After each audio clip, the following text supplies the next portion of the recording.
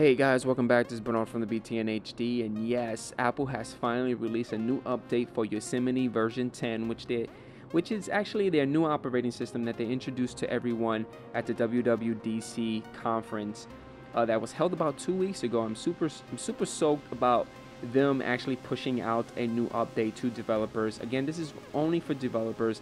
Uh, I haven't heard too much of what's new with the new operating system, so I'm gonna push it out and uh, let's see how big is the operating system it does require a restart so I'm gonna do a download and restart and it's about 1.16 gigs of size what a huge update for the very first update for Yosemite so I'm gonna let this run and then once it's completed I'm gonna let's we're gonna go inside and check out what's new and we're back. Yes, finally the update is pushed out. About 1.92 gigs took about 15 to 20 minutes on my network, but most likely if you have a faster connection, it will work faster. Uh, some of the things that I noticed with the new update is um, I, I think it kind of improved the speed of my machine. Uh, no indication that the update was pushed out. The only indication is if you go to the App Store, you will see it here. But I'm kind of surprised. They normally do by builds, but there's no build indication that it was pushed out. I know there's a build number somewhere, but I'm kind of surprised that they didn't tag it here. They normally tag it right there, that build blah blah blah. So kind of shocked that they haven't done that. But again, it's it's a beta. It's still working.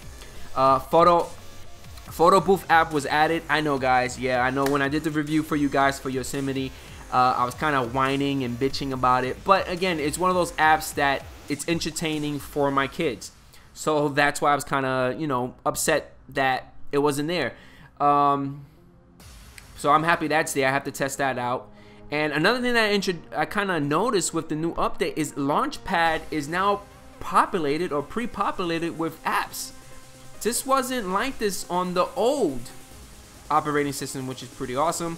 Uh, kind of strange that my Final Cut is still with the X, but when I go into my Launchpad, it looks okay. And I'm gonna go and I'm still inside my application folder but if I go to my final cut it's still the same. But whatever.